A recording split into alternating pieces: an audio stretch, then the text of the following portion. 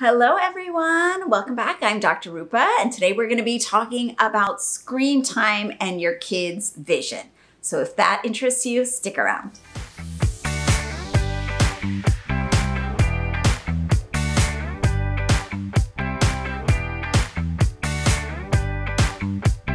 Hi, everyone. I am Dr. Rupa Wong, board certified pediatric ophthalmologist, and today we're going to be talking about the effect of all of that distance learning and Zoom sessions and everything on the development of your kids' vision. Specifically, two big articles came out talking about nearsightedness or myopia in kids. And today I'm going to be joined by a very special guest. But before we get to my guest, just FYI, on this channel, we talk a little bit about eye health, eye makeup health, and then my specialty training, which is pediatric ophthalmology, kids' eyes, and strabismus, which is misaligned eyes. So if any of that interests you, please hit the like, follow, subscribe, do all of that so I can keep producing content for you.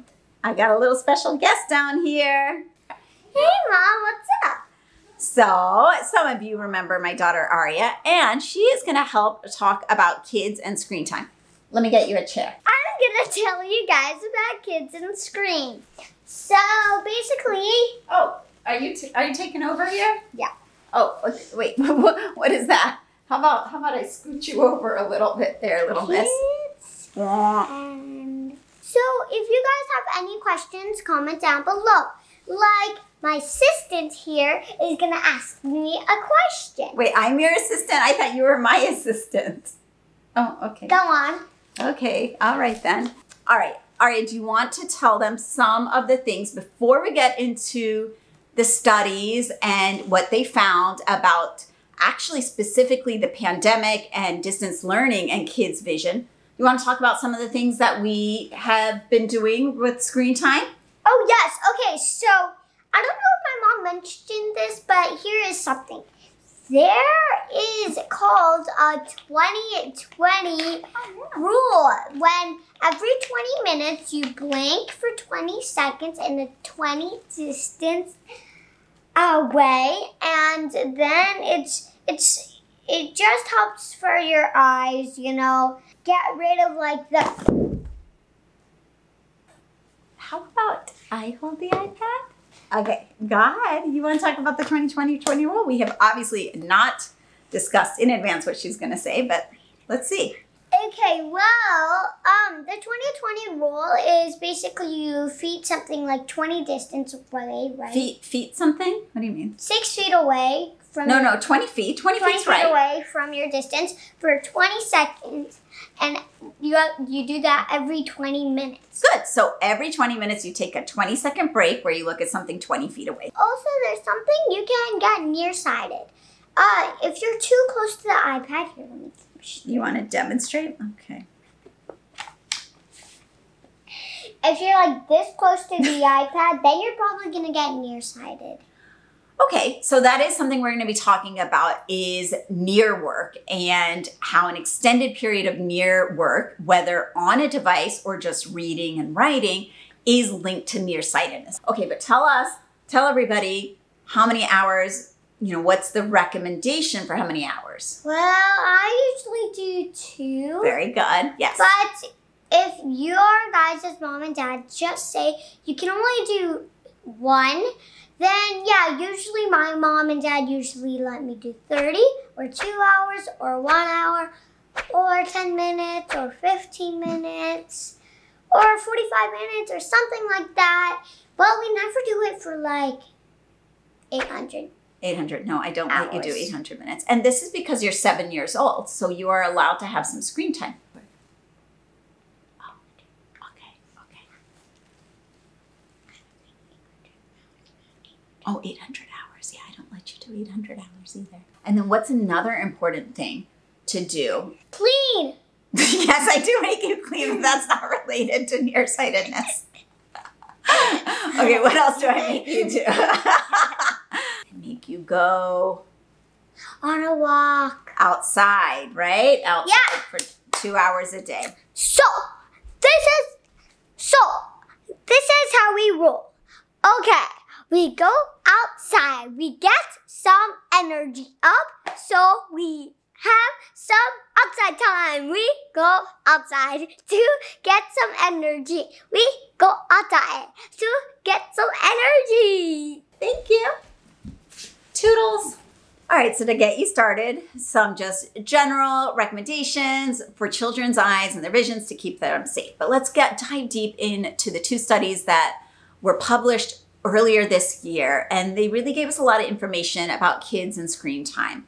And here's the thing it's not just screen time, it's any up close work, so any near work. But as I tell the parents of my patients, unfortunately, most of my pediatric patients are not on a you know, they're not reading for 10 hours a day. They're not writing in their journal 10 hours a day, but sometimes they can be on their phones or devices for 10 hours a day. So that's why we tend to talk about it as screen time, but it's not specifically a screen versus anything else up close. Reading, writing is the same in terms of the link and correlation with nearsightedness. All right, so let's look at the studies. So there was a study that came out in January of 2021 in one of our big journals. It was uh, JAMA Ophthalmology, and it looked at a population based surveys of kids, and they examined kids using a photo screener. Photo screener is just a device that a lot of pediatricians have and some pediatric ophthalmologists. I do have one in my office,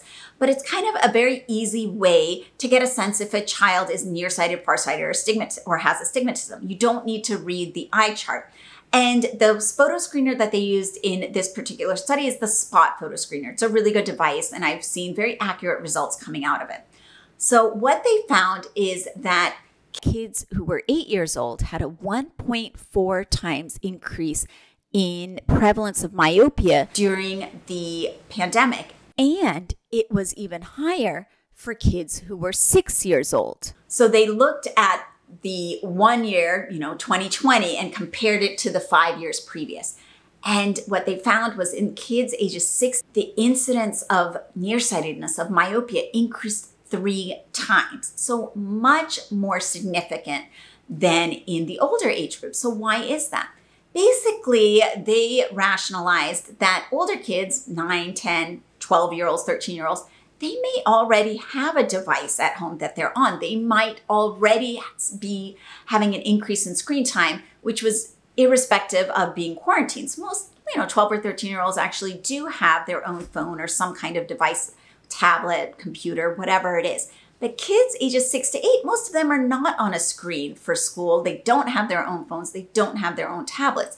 So, distance learning during the quarantine period really was a marked difference for those younger kids than it was for the older kids. So, that's a trend that we saw. So, it means that kids like my daughter, Arya, who's seven, have to be a lot, lot, lot more cognizant of how much screen time they're getting. And again, it's not screen time per se, it's anything up close. But they really looked at their nearsightedness and, you know, because kids were on devices so much during distance learning, this was the inevitable fact. The study also argues that less time spent outdoors probably caused a lot of these children to become nearsighted as well.